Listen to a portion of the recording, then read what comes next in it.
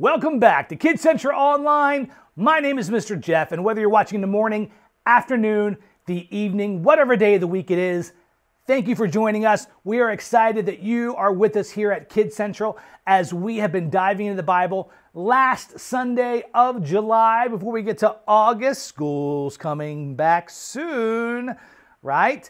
But hey, we are still here in the summer and we are learning about confidence. Now, remember, confidence is learning to see yourself the way God sees you. Say that one more time. Confidence is learning to see yourself the way God sees you. God has a good plan for you. And every day we can grow in relationship with Him. And we can live each day with confidence, knowing how much He loves us. And remember, our memory verse from Philippians 1 6 actually helps us to remember that. Remember what it says? Here it is Being confident of this, that he who began a good work in you will carry it on to completion until the day of Christ Jesus. That's right. God is always working on us. And just between you and me, I need a lot of work. But with his help, we can press play and take on any challenge that we face anytime in our life. And as we close out this month in July, I want us to use our voices and our bodies. Let's praise Him one more time together for the month. Let's sing and worship Him today.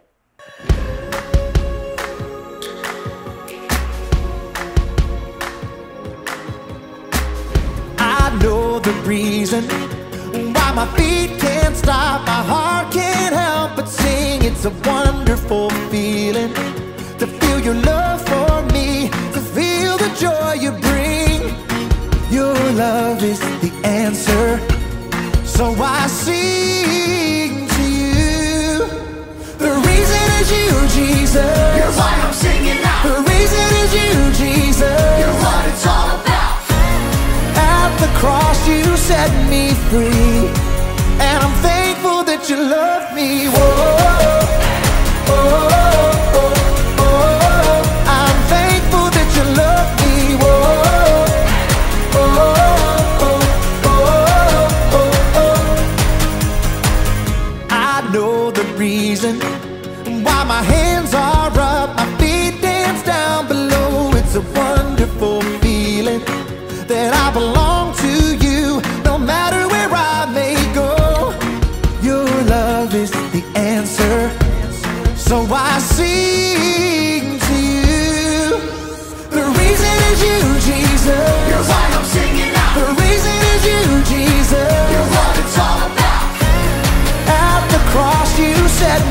me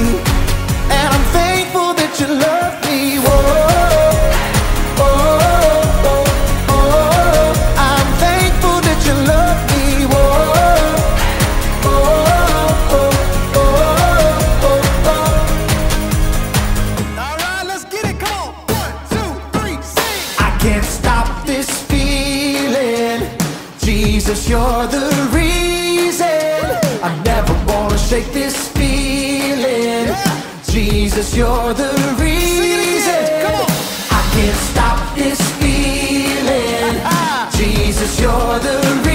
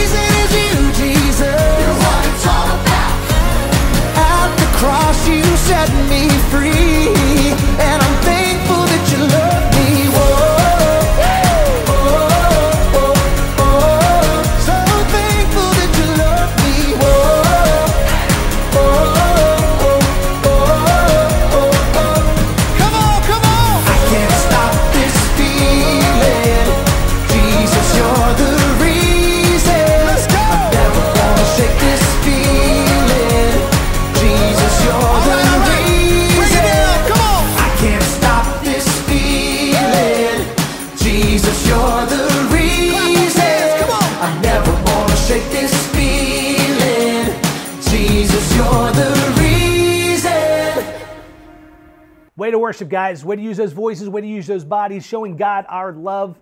It's a great way to express our love through worship.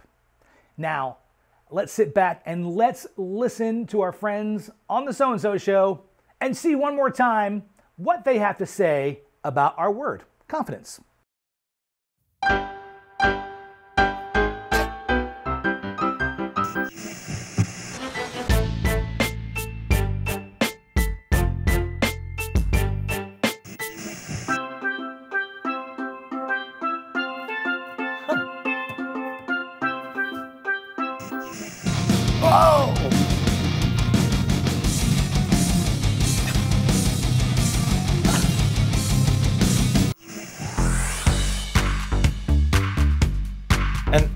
Happened after you went to the dentist?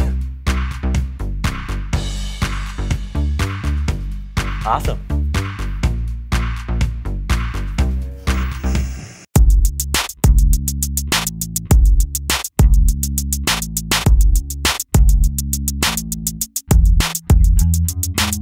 Uh, hi, uh, I'm uh, um, I'm Brandon. Forget your name there? No, I'm. and I'm Steven. Welcome to the So and So Show. Is everything okay, Brandon? uh, yes. Was that a question? No. I mean, yes, it was. I mean, I'm fine, is what I'm saying. I just. I made a decision earlier that will affect today's show, and now I'm not so confident that it was the right decision. Oh. Oh. Oh. Okay. Uh, what decision? I invited someone to be our guest today. so- What? What's the big deal? Yeah. We have guests all the time. Who is it? Is it someone I know? Yeah, uh, well, it's Joel, the troll. Are you crazy? I know. I might be. Joel the troll? The internet troll? The one who also happens to be a real troll? He's mean, he's vicious, and overall, he's just nasty. I know, but I was thinking maybe he is the way he is because people have been mean, vicious, and nasty to him. So, and you want to what? Be nice to him? Well, yeah, yeah, I feel like I should try. Okay, well, but he's gonna be mean. You know that, right? What if he says mean things about you? I'll try not to take it personally. Okay, what if he makes fun of the way you dress? He's entitled to his opinion. What if he insults your cat? He better. Hmm. Fluffy never has to know. there he is. We don't have to do this. We can run. We can hide. Just pretend we're not here. Let's turn the lights off. No, no, no, no. It's the right thing to do, Stephen. Fine.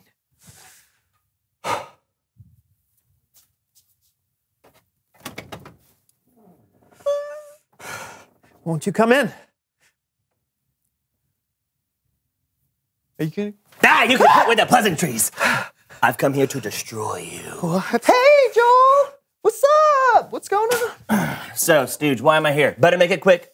I've got to get back to making fun of people on the internet. Oh, uh, oh, okay. You, you like you like games, right? I, mean, you like when, when you're on the internet, you play games, don't you? Yes, I like games. Yeah. So what? No, I just thought that maybe it would be fun if if you and I played a game together. Right, right now. Then let's play. It's time to play Double Down.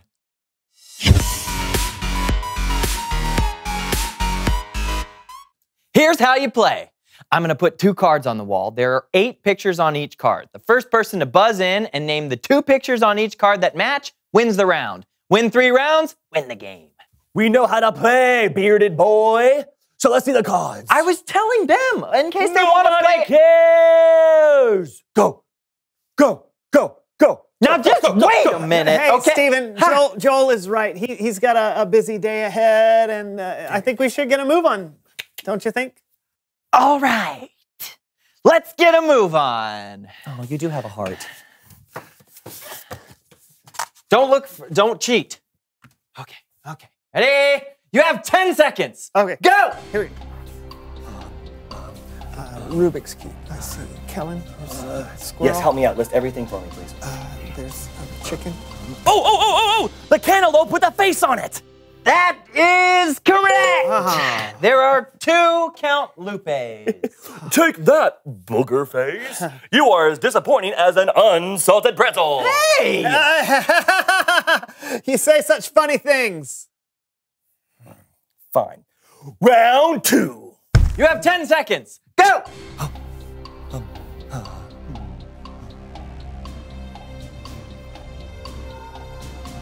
Oh, the metal detector. Oh yeah. You are right. That is Leonard's metal detector, Camilla. When I think about you later, it'll remind me to take out the trash. Yeah, well, you should take out the trash. So you're welcome. well, what are we doing here, buddy boy?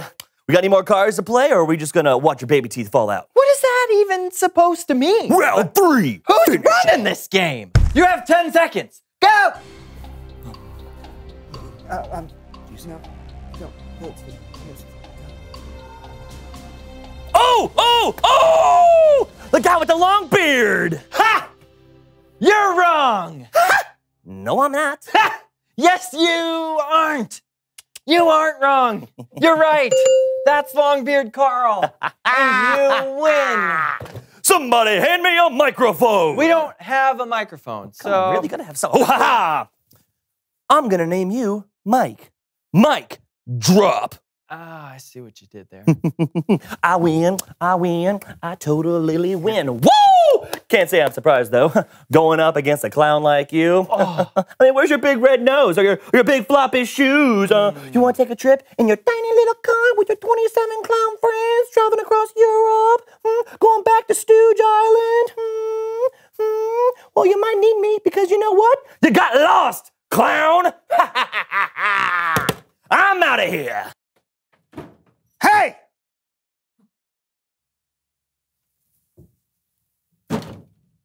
Hey. You got something to say to me? Bozo? And you, you, you are a meanie, meanie pants. And your your hair, it it, uh, it looks like like blue cotton candy. And and you know what? You, you smell. That's right. You smell like hot dog water. Oh. Yeah? Well, guess what? I won twice today! I won the game, and I broke you! Booey, yeah, baby! Joe the Troll rules! Joe, Joe, Joe, Joe, Joe, Joe! Bye, Joel. I couldn't do it. I couldn't be nice for five minutes. He was making it really hard. I said some terrible things, Stephen.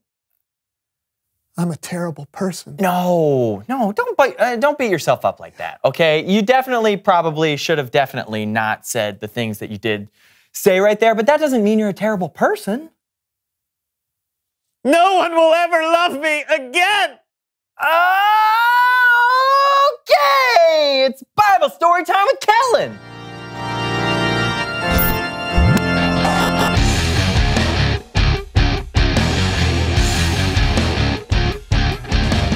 Hey guys!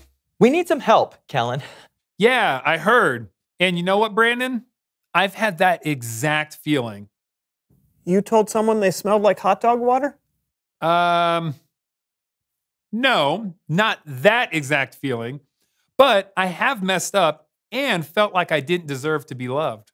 I'm surprised you're even talking to me right now. I think I have the perfect story for us. Great. Then take it away, Kellen. This story comes from the book of Romans, which was actually a letter written by the Apostle Paul to Jesus followers in Rome. Now, Paul was writing this Da, da, da, da, da, da, da! It's time for Bible sizing with Horvath! Horvath? Yeah, thank you for having me on your shows. You're welcome. I am Horvath, and I am an expert in combining the mental trainings of learning the Bible with the physical trainings of making your muscles bigger. Okay, uh, let's do it. I'll read the verses and you'll I do exercise. Let's go now. Uh, wonderful. Okay, here's what Paul wrote I am absolutely sure that not even death or life can separate us from God's love. Stop! First exercise! Okay, I call this the dying and alive insect. First, you bend down and shrivel up like a dying spider after it's been sprayed with rays. Before jumping up and exploding like a firecracker set off by your Uncle Gustav's. Why are you not exercising? Oh, um, I thought, No thinkings! Exercise! my bad. Okay, we do 24 of them. Go! One. Strudel. Accordion. Ah, 24. Ha ha. Carry on with the stories. Oh, yes. So, Paul wrote that nothing can separate us from God's love, not even angels or demons, the present or the future, or any powers can separate us. Hold your donkeys. Second exercise. I call this the no angels in the power field exercise. I raise my arms like an angle on the highway to heavens while separating my legs wide into almost splitters before retiring, before retiring, before retiring, returning them to the original position. We do 93 of them. 93? Ready? Go! One. Ah. 42. Ah. Jackalope. Ah. Sister Schubert's. Ah. 93. Ah. Woo! That really works the muscles above the ankles. Your calves. No! Water break! Ah. Refreshing. So, not only can we not be separated from God's love by death or life, there's also no being or supernatural power that can take his love away from us. And Paul went on, not even the highest places or the lowest or anything else in all creation can separate us. Stop! Third exercise! I call this highest building, lowest earthworm. You put your handsies over your heads and make a little point like a giant skyscrapers, and then you just fall down onto the ground and wriggle like an earthworm, baking on the hot pavement. Let me see you do the earthworms. Um, Huh? I'll pass. Okay, fine. I'll do 60. Ready? One. Uh, uh, ah. Never mind. I'll do one. Ah. Ah. oh. Oh. Good idea.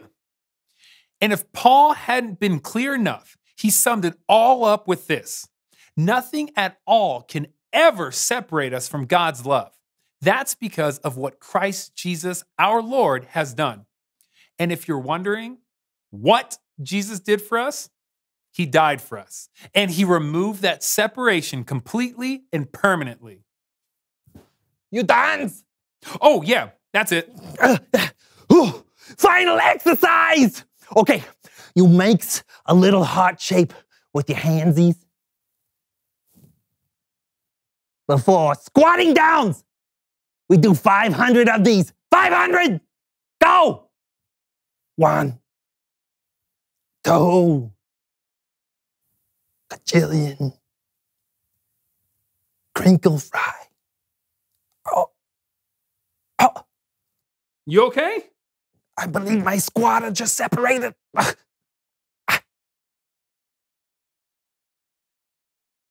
That's okay. I will finish up real quick. Well, hopefully this was clear and helpful, but it all boils down to this no matter what's going on, no matter how we feel, and no matter what we've done, because of Jesus, nothing can separate us from God's love. You are always loved because God loves you, no matter what. Even if, say, we've called someone a meanie meanie pants and told them they smell like hot dog water? Yep, He still loves you. What if you did something that you weren't supposed to do and you got grounded for seven months? Hypothetically. Seven months? Yeah. Wow, that's bad. But yeah, God would still love you. What if your muscles seized up like a slinky and you can only move like a crab? God would still love you too. Yes! I'm going to take Horvath to the chiropractor. He's on my speed dials. Yeah. So uh, back to you. Thank you, Callan. And Horvath. They're right.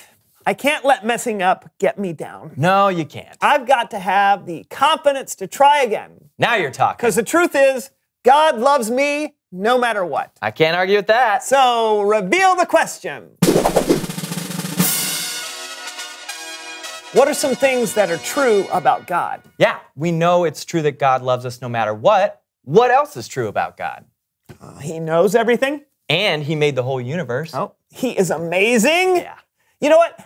I'm going to try and love people the way God loves me.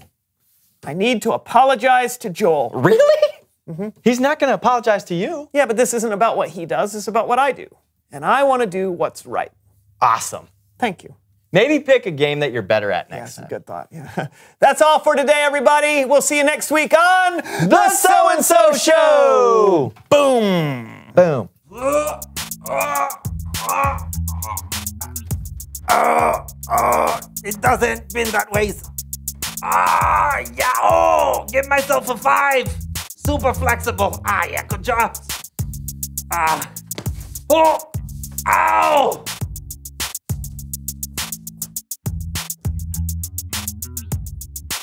What do I keep in my sleeveys? My armies. No more. Nothing can get in the way of God's love. Nothing you do will stop God from loving you. We know that for sure because of what God did for us by sending us Jesus. And this is why you can have true confidence. So, our bottom line God loves you no matter what. Say that with me. God loves you no matter what.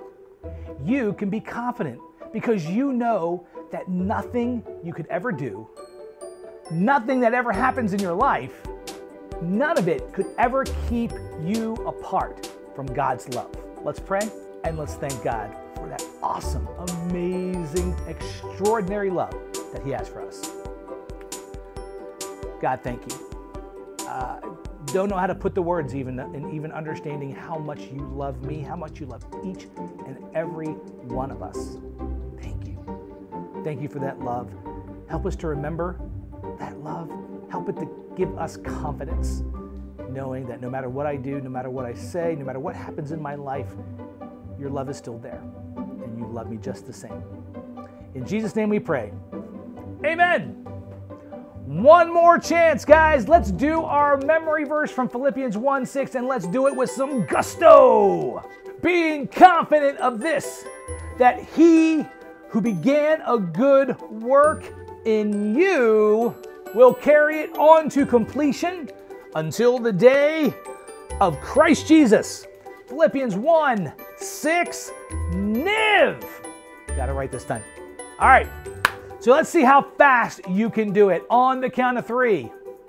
One, two, three. Being confident of this, that he who began a good work in you will carry it on to completion until the day of Christ Jesus. Philippians 1 6, NIV. Oh, wow. Do you see that? There's smoke coming off these fingers. That's right. That's how fast I was. Were you that fast? Were you faster than me? Raise your hand if you were faster than me. All right, all right. Are you sure about that? Okay, all right, just making sure. All right, very good. Hey, I hope you had fun with that. And it's great to remember that too, guys. And this is why we do these memory verses because when we have God's word in our heart, we can remember Philippians 1 6 and those times that maybe we're not feeling confident. And we can remember that, hey, we can be confident knowing that God is doing a good work in us for the rest of our lives. He's got a great plan for us, guys. Trust Him no matter what. You're not going to regret it. Have the confidence to know that He loves you and He is always with you. And that can make the difference in your life. All right.